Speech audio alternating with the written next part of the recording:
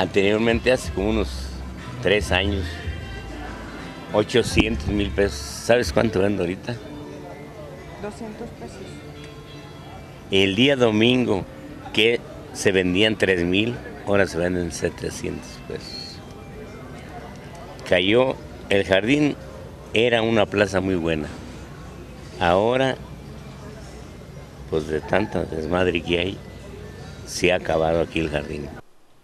Así eran los tiempos donde la tranquilidad era otra y familias enteras acudían al centro de la ciudad sin importar el día que fuera. Don J. Guadalupe es un comerciante con más de dos décadas dedicadas a la venta en el jardín principal. Recuerda con añoranza aquellos tiempos en los que todo era distinto, distinto a este 2019 considerado como el año más trágico en cuanto a ventas. Aunque no se considera un experto en el tema, considera que para mejorar la actividad económica del centro hacen falta actividades para que la gente acuda y se divierta. Hay musiquita luego ahí, pero la gente nomás se montona ahí.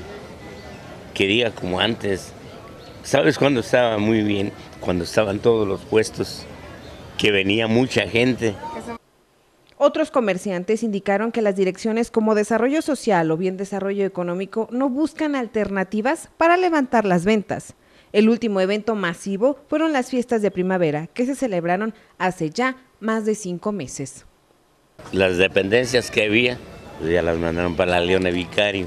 Entonces toda esa gente ya. Y aquí el, jardín no por nada está olvidado. Olvidado, olvidado. Algunos comerciantes atribuyen la baja venta a la inseguridad, pues, derivado de los ataques que se presentan, es notorio que muchos ciudadanos tienen miedo a salir. Sí está muy mal esta plaza ya.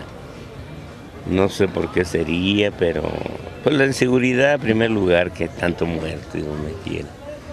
La gente, no sale. Con información de Erendira González, Mega Noticias.